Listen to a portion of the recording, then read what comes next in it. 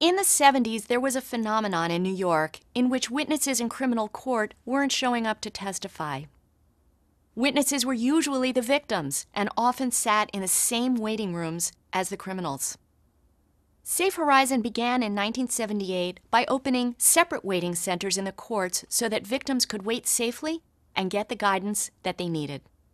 Our work now starts long before a victim gets to court. Our mission is to provide support, prevent violence, and promote justice for victims, their families, and communities. Whether it's responding to child abuse, domestic violence, sexual assault, human trafficking, or other violent crimes, Safe Horizon helps victims and their families heal and rebuild their lives.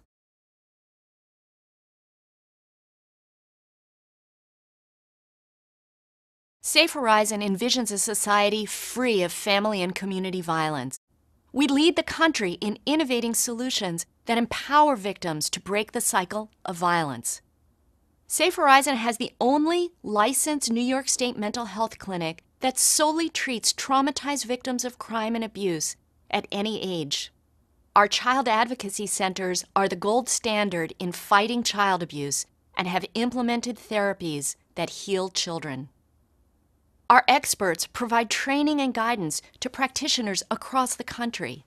To meet our objective of a society free of violence, it will take more resources to spread solutions as widely as possible.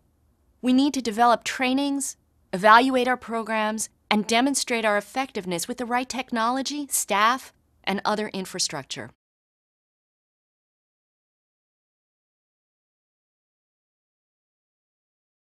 One of the things that makes Safe Horizon unique is our holistic approach to helping people. Most homeless youth come needing a safe place to sleep, food, and a clean change of clothes, but they also need mental health counseling and job training. These are all ways in which we're ready to help. Our Child Advocacy Center staff, which mostly works with abused children, recently underwent training from our human trafficking experts to identify sexually exploited children. This resulted in the discovery of even more trafficking cases. Being able to provide deep services and leverage our experts across the organization enables us to effect real change in thousands of victims' lives.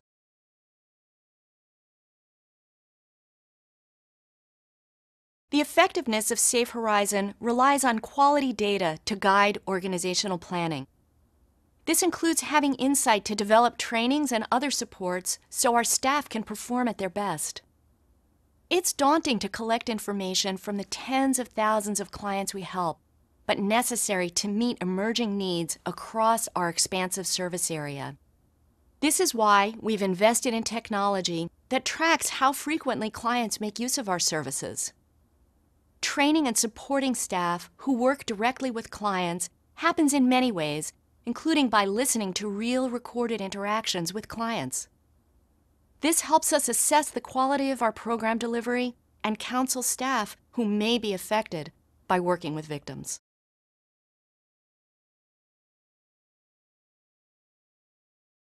Safe Horizon touches the lives of a quarter of a million people every year. Our success is measured by the number of people we help, and it's reinforced by the anecdotes we hear every day. A woman at a domestic violence support group shared with me that her batterer told her, You are nothing without me. And yet, she's now thriving in our shelter. Most of our clients enter our care through our 24 hour emergency hotlines, on which we answer 10,500 calls every month. We are very proud of the immediate help we give to tens of thousands in our city. A call is just the beginning of the journey for many victims. We consider our ability to be there for the long haul an essential part of our success.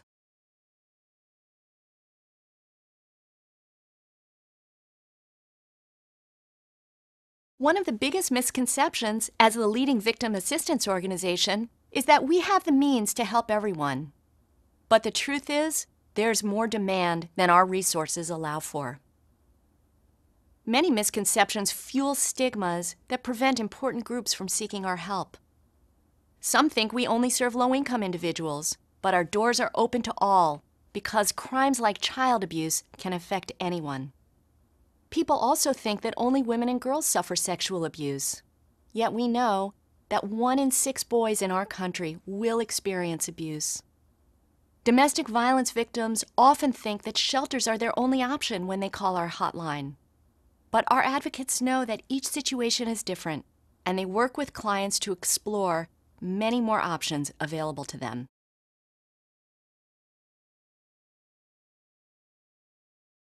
One of Safe Horizons' greatest accomplishments benefits abused children. In 2008, we saw a dramatic increase in child abuse cases and sought the expertise of the Yale Child Study Center to provide therapy that worked faster to help children and families. When children suffer from trauma as a result of abuse, they may become withdrawn or react in other ways that indicate that something is terribly wrong. Our special therapy greatly minimizes these post traumatic stress symptoms in children who have recently experienced abuse. 65% of the children we treated saw great improvements in their symptoms, and their parents also learned how to help them more effectively. Most treated children stand a better chance of surviving the long term effects of their trauma. It truly is life saving work.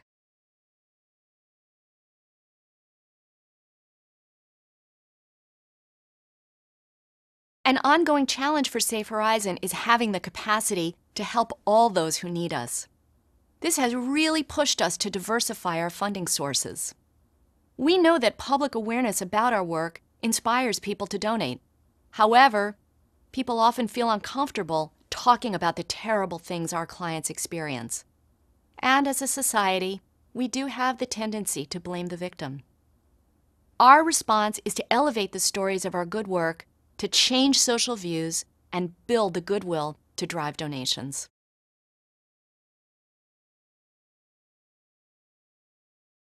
With more resources, Safe Horizon could help more victims and in deeper ways. We'd expand our youth shelter so that the hundreds of youth on waiting lists wouldn't have to sleep on the streets or exchange sex for a safe place to stay. We'd provide more mental health services at our shelters to offer immediate counseling when and where it's needed. We'd provide more legal services for the many people we have to turn away who desperately need orders of protection and other services. We'd develop education and job training programs to ensure survivors would never have to return to their batterers to sustain their families. With more funds, we could ensure to always be there for our clients.